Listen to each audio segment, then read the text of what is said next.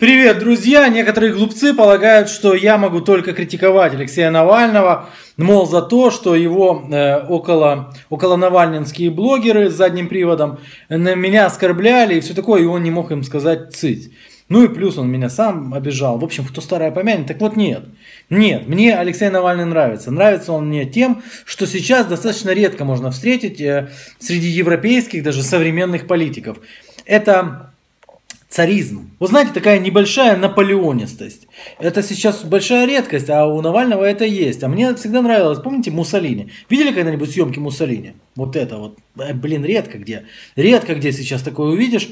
Алексей Навальный, человек, который считает, что самый главный человек в мире это Алексей Навальный. И поэтому на выборах э, муниципальных в Москве произошло то, что произошло. Больше всего вопросов по московским выборам кто-то мне пишет, почему ты их игнорируешь. А...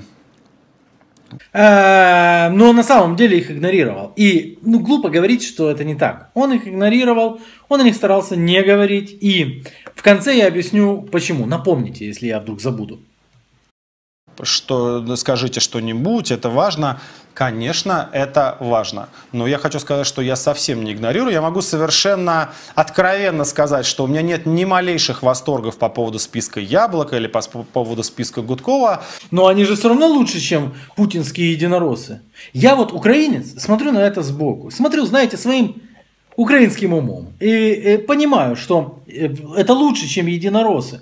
Даже самовыдвиженцы, которые там какие-то идут из народа, это лучше, чем единороссы. Любое яблоко или груша, или кто хочет, любой кац лучше, чем единороссы. Ну, в представлении, если Алексей Навальный хочет изменить Россию, сбросить Путина и выместить это все поганой метлой, а у него нет восторгов. Просто потому, что ну, я занимаюсь практической политикой. Я кандидат в президенты, я баллотирую сейчас. Я хочу, чтобы меня поддерживало много людей. И если люди, они, может быть, прекрасные люди, но они меня не поддерживают на этих выборах. А, вот оно в чем дело, оказывается. Если люди его не поддерживают, тогда он не поддерживает их. Я занимаюсь практической политикой, мне напоминает, я занимаюсь практической магией. Но шутки в сторону. Если кто-то не поддерживает Навального, то вот этого человека Навальный однозначно не поддержит. Почему? Потому что главный человек, которого может только поддержать Навальный, это Навальный. И э, мое личное мнение, абсолютно ему плевать на прекрасную Россию будущего, если в этой прекрасной России будущего не будет Навального. Инструкция сделана для поддержки Григория Алексеевича Явлинского, который очень хороший человек, но я считаю, что кандидат на президентских выборах, он не очень удачный. Я призываю голосовать за себя, поэтому я поддерживаю, естественно, тех кандидатов, которые поддерживают меня в свою очередь. Это все понятно, но ведь это были не президентские выборы, это были э, выборы муниципальные, московские выборы, в райончиках там люди пошли. Причем тут президентские выборы? Ты ведь мог бы поддержать для того, чтобы выдавить этих проклятых единороссов. Не поддержал. Я считаю, что, конечно, нужно поддерживать в первую очередь те команды, которые подходят политически к московским выборам. Не просто, значит, мы придем, станем депутатами и будем вот там за интересы москвичей. Действительно, такой глупостями заниматься лучше не надо, интересы москвичей. Политически, но если даже политически они подходят к выборам и говорят, Путин очень, очень плох, Единая Россия, go home и все такое, но не поддерживают Навального, то он не поддерживает. Это мне очень интересно. Как украинец, со стороны наблюдаю заявлением мы будем работать в интересах москвичей, мы для этого и идем, но мы не собираемся молчать про все остальное, и мы будем бороться с нынешней московской властью. Это вот таких вот он поддержит. А остальные, те, которых он не поддержал, так они шли, знаете, что говорили? Мы будем молчать про все другое. Вот когда у них программа была. Серьезно, да. Мы таким командам помогаем. Это Яшин в первую очередь в Красносельском районе. Там рассылку делаем по волонтерам. Ролик а, я записал, а, выйдет завтра для Красносельского района. Команда Константина Янкаускаса. Максим Мотин в печатниках идет от коммунистов. Ну и все. И все. Вот это вот э, Кинскаускас и Яшин. Мотин это упомянул и упомянул, это коммунист. И все как бы. Подожди, а где Гудков? Вот я не могу. Я как украинец со стороны наблюдаю, постоянно Гудкова. Слушай, Гудков, Гудков, а тут что-то нет Гудкова. Несколько списков. Там много разных. Есть яблочный, есть парнасовский, есть список коммунистов, как я уже сказал. Мотин в печатниках, я так понимаю, он в основном от коммунистов идет. А, есть, соответственно, Гудковский список. Посмотрите их всех. Соответственно, там Гудковский и все. Поддержал. Поддержал. Это ролик Вот прямо только-только перед выборами. Уже, уже выборы должны быть. А до этого тишина. Знаю все про ваш скепсис. Я отлично понимаю, что сейчас вы мне все напишите, что никого полномочий нет и так далее. Но они ему еще не пишут этого. Но он уже знает, для чего это делается. Это, знаете, помните фильм «В джазе только девушки»?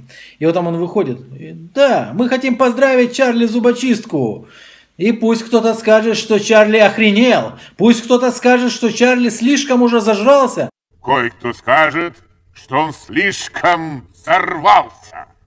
А я скажу, он пойдет далеко. Некоторые скажут, что он и так зашел далеко. Но нет, мы любим Чарли.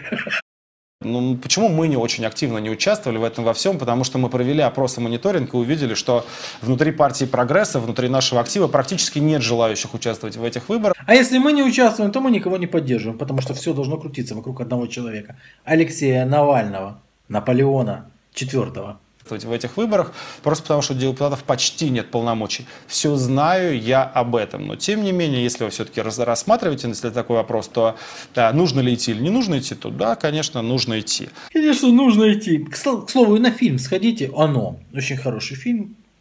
И мороженое можно сходить покушать. Вообще не, не забывайте о родителях. Посетите еще родителей на выходных. Алексей э, откровенно игнорировал, не призывал ни за кого голосовать на этих выборах. То есть это все было так, походя такое, как в свое время поддерживали Алексея. Давайте Знак солидарности с тем, что Алексея вывели, я не выступаю. Всем привет! Гудков даже не выступал, смотрите, потому что в знак солидарности с тем, что Алексея вывели, это когда Алексею сказали пока-пока, это наш это наш митинг против реновации.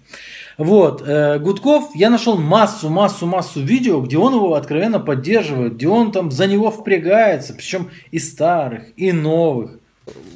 Проигрыш Навального в суде – это э, какая-то новость, э, тема дня – Смотря, Или, в общем, смотря что называть проигрышем. Я вообще не считаю, что он проиграл. Даже очевидные вещи он отрицал в, э, в, как бы в пользу Навального. Э, вот посмотрите, э, Навальному задают вопрос по поводу выборов в Госдуму, которые, по сути, были провалены для демократических сил благодаря, в кавычках, Навальному. Про вашу позицию на выборах, на выборах в Государственную Думу. Э, вы э, в какое-то время призывали людей участвовать, поддержать коалицию, потом она распалась, э, и вы, ну, по сути, как, мне, как я понимаю, заняли позицию такого, ну, скажем так, ненавязчивого призыва к бойкоту. Ненавязчивого призыва к бойкоту, потому что я не иду, так пусть никто не идет.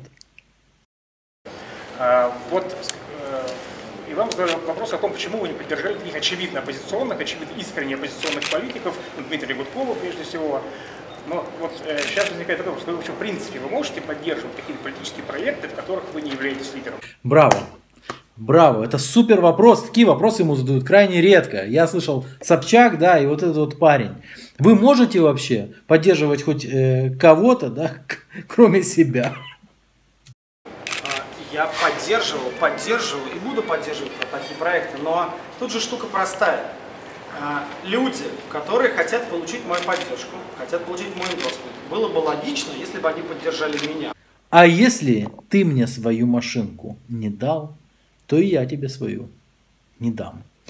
Как же прекрасна Россия будущего? А как же сместить Путина и Шойгу, прочих там всяких? Нет, э, если вы меня не поддерживаете, то живите тогда с Путиным. Но если, например, Гудков заявляет о том, что он поддерживает Явлинского, то я честно скажу, меня это не устраивает. Потому что вот этот договорняк с Явлинским мы поддерживаем друг друга, но пусть это они в этом и участвуют. Пусть это они в этом и участвуют, понятно. Ну а как же прекрасная нахрен Россия будущего? Алексей, Алексей, так не делаются дела? Делаются. Алексеем они делаются только так. Более наполеонистого человека сейчас в современной политике трудно найти. Это вопрос к Диме. Если он на президентских выборах поддерживает Явлинского и участвует с ним в политическом партнерстве, прекрасно пусть участвует. А почему вы об этом не говорили во время выборов Госдуму? Во время выборов в Госдуму я говорил вещи, которые более важна для меня. Э, выборы в Госдуму были провалены. Почему были провалены выборы в Госдуму? Слушайте внимательно. Которая более важна для меня и, мне кажется, для всех. О том, что а, если меня не пустили на выборы, если мою партию не пустили на выборы, то, конечно, я в этих выборах, ну как вы считаете, что я могу в них участвовать? Я не буду в них участвовать. Мою партию меня не пустили на выборы. Поэтому я не буду призывать голосовать за кого-то, кто может сместить, там, выдавить там единороссов, или как-то разбавить, или там либералы, шмебералы, какие либералы. Меня же не пустили, так уж пусть тогда и никого не пускают. В них участвовать, я могу призывать своих сторонников в них голосовать, когда меня на эти выборы не пустили. Это означает, я бы ответил Кремлю. Ну давай, Кремль, ты меня не пускай дальше, а я буду, значит, вот сидеть и благостно всех остальных поддерживать. Конечно, Таким образом, он не может призывать своих сторонников голосовать, потому что Кремль подумает, что я не пустил Навального, а он себе спокойно сидит и призывает голосовать за кого-то другого, тоже за либералов каких-то. То есть Кремль должен подумать, нет, я не пущу Навального, и получается не пройдет никто. Так это выгодно. Выгодно получается не пускать Навального, ибо он, как знаете, бывает, тонет кто-то, и вот он, вот вместо того, чтобы как-то барахтаться и вылезть, он лучше тебя еще за собой. Уж я, если тону, так лучше мы вместе утонем. Беспредальница, так не доставайся же ты никому. Ну так не доставайся же ты никому. В итоге вышло то, что вышло. А, тактика Навального очень повлияла на муниципальные выборы. Навальный сделал так, что очень много хороших людей, его сторонников, в том числе работников его штабов, не избрались в депутаты, потеряв 10, 20, 15 голосов они не достали. Это что, впервые что ли? Это Кац рассказывает. И сидит рядом как раз таки Гудков. В первый раз что ли тактика Навального к такому приводит? А тактика ли это Навального вообще? Так что его тактика принесла плоды. Она избрала много единороссов. Она позволила единороссам взять большинство в нескольких собраниях. Он работал на этих выборах на одной стороне с мэрией Москвы. Знаете, что он думал? Он думал, что будет колоссальный провал демократических сил на выборах в Москве.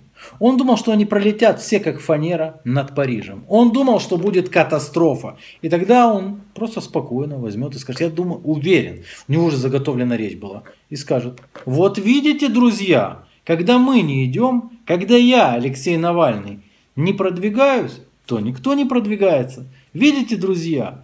А сейчас вышло не так. А сейчас вышло по-другому. Оказывается, Алексей Навальный это не какая-то путеводная звезда, это один из многих. Это больно. Для Наполеона больнее нет ничего. Поэтому я думаю, что Алексей будет, может быть, тайно даже гадости какие-то делать своим типа, типа союзникам, но на самом деле какие они союзники, если они не за Алексея? Ты Наполеон, Алексей? Ты просто Наполеон. Эх. Walked away. I will always want you.